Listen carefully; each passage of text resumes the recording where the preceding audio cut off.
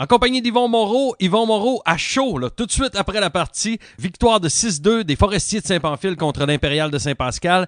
La série s'est terminée en cinq matchs et grosse, grosse victoire, Yvon. Hein?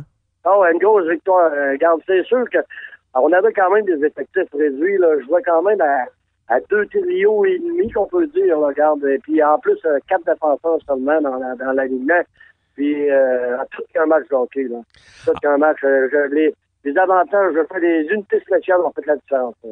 Vous avez eu peur hier. Euh, ben hier, vous avez joué une belle partie encore, encore une fois par la différence d'un but. Euh, Ah oui, regarde, euh, hier, hier c'était tout un match de hockey aussi. Là, regarde, à deux, ça finit à quoi, 3 à 2.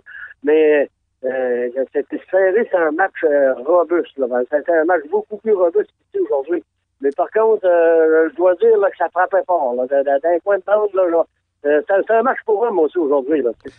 C'est- des matchs et séries. Hein. Tommy, tes impressions sur euh, cette série? Ouais, c'était euh, loin une bonne, une très bonne série. Je crois que ça va être la meilleure série de la première ronde. Là, ça joue au hockey, c'était intense des deux côtés.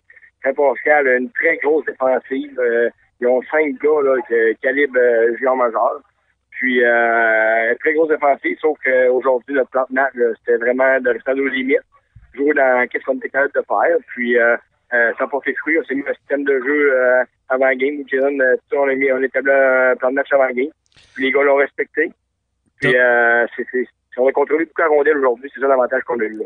Tommy, qu'est-ce qui s'est passé entre la deuxième et la troisième période? C'était 3 à 2. Là, vous avez explosé en troisième période avec euh, trois buts. Qu'est-ce qui s'est passé? Est-ce que Ouais. tu t'es levé, euh, tu parlais, tu dis, regarde, c'est le temps, là, c'est la dernière chance. Ah, Ben, euh, Yvon a fait un gros speech. là, ben, nous, euh, c'est pas compliqué. Nous, on a une automatisation, puis euh, c'est l'analyse Jason italien.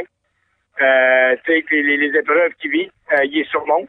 Il va très bien aussi. Jason a eu un diagnostic de cancer des testicules.